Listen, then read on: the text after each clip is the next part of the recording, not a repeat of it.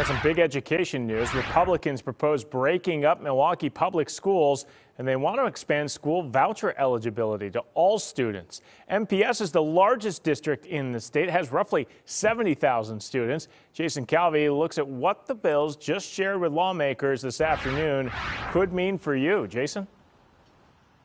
Hey, Ben, yeah, the Republican proposal would allow any student in Wisconsin to be eligible for those school vouchers. Right now, there are income limits. So, a married couple with two kids in Milwaukee, they can make up to $86,000 right now and be eligible for those vouchers for their students. This would extend it to every student. Republicans also want to dismantle MPS.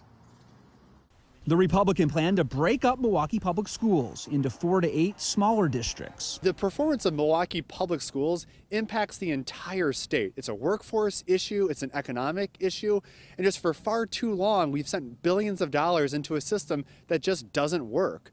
We have to have a, a discussion about whether Milwaukee Public Schools and the school board is simply too big to ever succeed. MPS board president Bob Peterson gives it a failing grade. I think it's a recipe for chaos.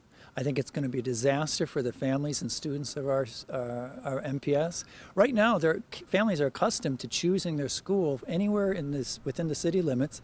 We have a variety of schools, largest footprint of Montessori schools in the nation. Peterson says having a large district allows them to better manage logistics. Well, there's an economy of scale, though. I mean, we successfully feed, uh, transport, give social services to um, tens of thousands of kids.